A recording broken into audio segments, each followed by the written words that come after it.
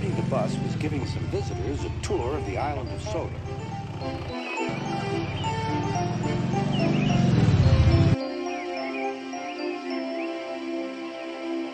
It was their last afternoon, and Edward was preparing to take them to meet Bill and Ben. He found it hard to start the heavy train. Did you see him straining? asked Henry. Positively painful, remarked James. Just pathetic. Grunted Gordon.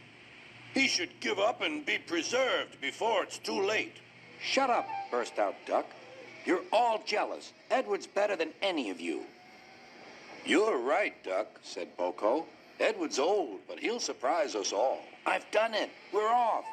I've done it. We're off, said Edward as he finally puffed out of the station.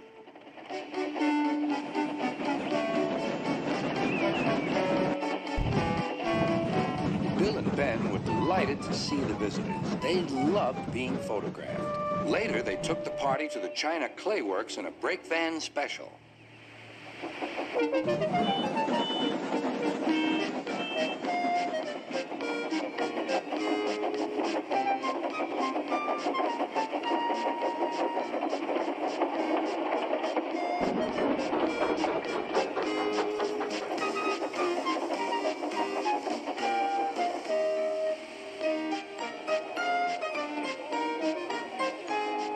Had a splendid time, and the visitors were most impressed.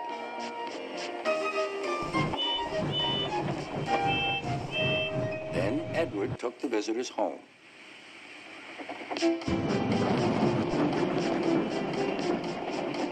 On the way, the weather changed. Wind and rain and his fireman rode in front, dropping sand on the rails by hand. Suddenly, Edward's wheels slipped fiercely, and with a shrieking crack, something broke. The crew inspected the damage. Repairs took some time. One of your crank pins broke, Edward, said his driver. We've taken your side rods off. Now you're like an old-fashioned engine. Can you get these people home? They must start back tonight. I'll try, sir, promised Edward. Edward puffed and pulled his hardest, but his wheels kept slipping and he could not start the heavy train. The passengers were anxious. The driver, fireman, and conductor went along the train, making adjustments between the coaches. We've loosened the couplings, Edward. Now you can pick up your coaches one by one, just as you do with freight cars.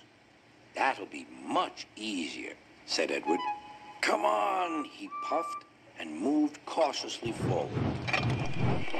The first coach moving helped to start the second, and the second helped the third.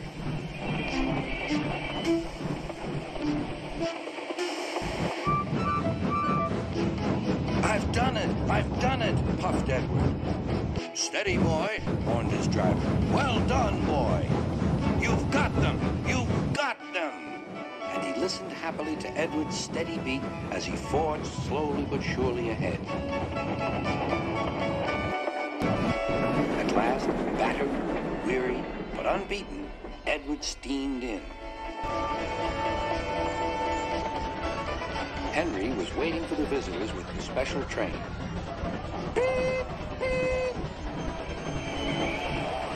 Sir Topham Hatt angrily pointed to the clock, but excited passengers cheered and thanked Edward, his driver, and fireman.